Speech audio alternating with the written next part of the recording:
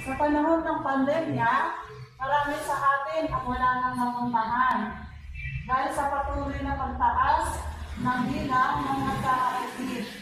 Pero si Tito James, ano kaya ang ginawa niya? Tunghayan po natin dito sa po! Almost one year po ako ng bedridden sa akin po pagkaka-stroke. Ah, bago po ako ma- bago po makina ng Nulabes, um, tumaas na po ang BP ko na naglalaro po sa 160, 180, hanggang sa nabot ng 200, over 100. At hanggang sa ma- madala na ulit ako sa sa hospital sa probinsya sa Malolos, nag, ang BP ko po ay tumaas ng 300 over 200.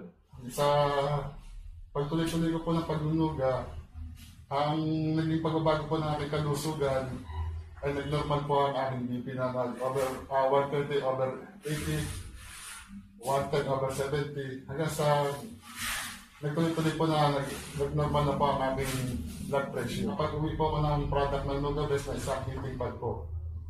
Kaya po nung lockdown po, yun po ang naging ah, naging solusyon po sa dahil nga po wala po nun sa best house, ang yun nga po hindi pa na nagamit kong pang suporta sa aking kalusugan. Hanggang sa ngayon po, sa pagpatuloy-tuloy na pagsalang po sa nagkabes N4 at ang hitik pad ko po sa bahay ay tuloy-tuloy ko po ginagamit. Ang mapapayo ko po sa kapwa ko po na nagnunog, na nagnunuga, tuloy-tuloy lang po tayo sa ating pag- pagnunuga, Huwag po tayo mga sa ang mga bali-balita. Ang pagnunuga po natin ay magiging uh, kasangkapan natin upang lumakas po ang ating immune system. Salamat po sa Panginoon Diyos. Ako po ay muli may napunta po uling Luga Best upang mapangalagaan ang aking kalusugan. Luga is the best. Aja, aja, aja. Napakahirap ang magkasakit, lalo sa panahon ngayon.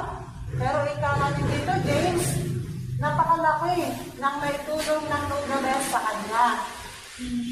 At ako po muli, ang tagapagbalita, Jennifer Hermino,